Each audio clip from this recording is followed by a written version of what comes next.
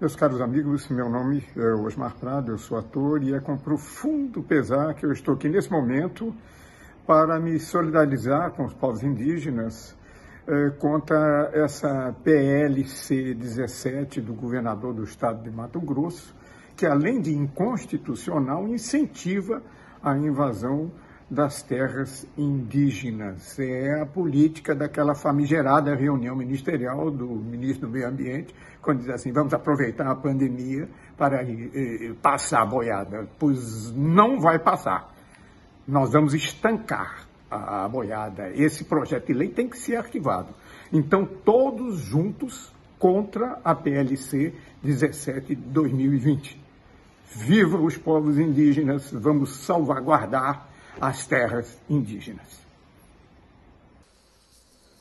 Olá, aqui é Lucélia Santos, atriz, diretora e produtora cultural. Eu venho juntar a minha voz a esse protesto, a esse projeto de lei PLC 17-2020, porque ele é ilegal.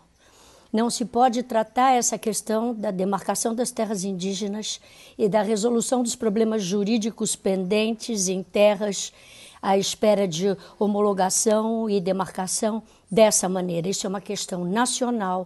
As terras indígenas são reconhecidas pela Constituição brasileira como sendo dos povos originários. Não se pode tratar as terras indígenas e essa discussão a nível estadual, como o Mato Grosso está querendo fazer. Isso é apenas uma desculpa para assaltar, invadir, continuar com as violações contra os povos indígenas. Eles têm o direito à terra. É constitucional. Não a PLC 17 2020.